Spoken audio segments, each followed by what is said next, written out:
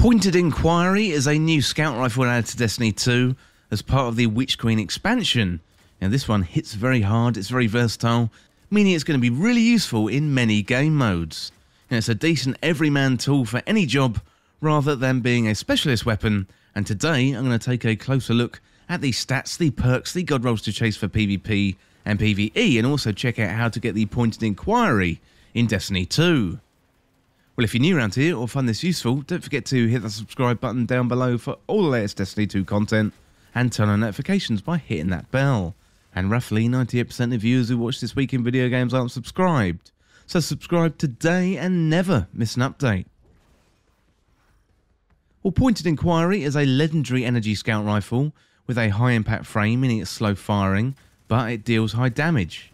And the weapon is more accurate when stationary and aiming down sights. Looking at these stats, we got 67 for impact, 71 for range, 30 for stability, 33 for handling, 39 for reload speed. It's a 150 rounds per minute scout rifle with 13 in the magazine. For me, this is a real decent PvE weapon. Now, I don't really use it in PvP that much, given scout rifles can pretty much be outgunned by many other options in PvP. Now, scout rifles have the advantage of being featured this season with anti-barrier mods on the seasonal artifact, giving scout rifles a much needed boost. It's not up there with other exotic scout rifles, but it's still pretty good and worth giving a go. Well, next up, let's have a look at the Pointed Inquiry Godroll Guide. So for PvE, Corkscrew Rifling Appended Mag. Fourth times the Charm and Demolitionist is a decent roll. Corkscrew Rifling slightly increases the range, stability and handling. An Appended Mag, you get more rounds in the magazine. Fourth times the Charm is where rapidly landing precision hits will return two rounds to the magazine. And then we got Demolitionist, so kills of the weapon generate energy, and activating your grenade ability reloads the weapon from reserves. For PvP, Fluted Barrel, Ricochet rounds firmly planted, and Harmony is the one you want to go for. So Fluted Barrel greatly increase the handling speed and slightly increase the stability. With Ricochet rounds, increase the stability and the range. Firmly planted, you got increased accuracy, stability, and handling when firing while crouched. And finally, you got Harmony, so final blows with other weapons improve this weapon's damage and performance for a short duration. Well, next up, let's have a look at how to get Pointed Inquiry in Destiny 2. So, Pointed Inquiry is a Throne World weapon, meaning your best bet for getting one is to complete activities on the Throne World, like public events, lost sectors, and Fynch bounties. You know, ranking up at Fynch is also going to be a good way to get one, and you can also collect the red bordered versions of the weapon, and once you've got enough, you'll be able to craft your very own Pointed Inquiry. Well, let me know in the comments what you think of the Pointed Inquiry and let me know your favourite rolls. Well, that is it for this guide for how to get the Pointed Inquiry in Destiny 2. And as always, thank you so much for watching. For more Destiny 2 content like this, hit that subscribe button down below and subscribe to This Week in Video Games. Or you can check me out on Twitter at TWIVG Podcast. If you enjoyed this video, found it useful, liking and sharing the video really liking and sharing the video would really help me out. Otherwise, check out the other videos on the channel. Well, thanks again, and I'll see you soon.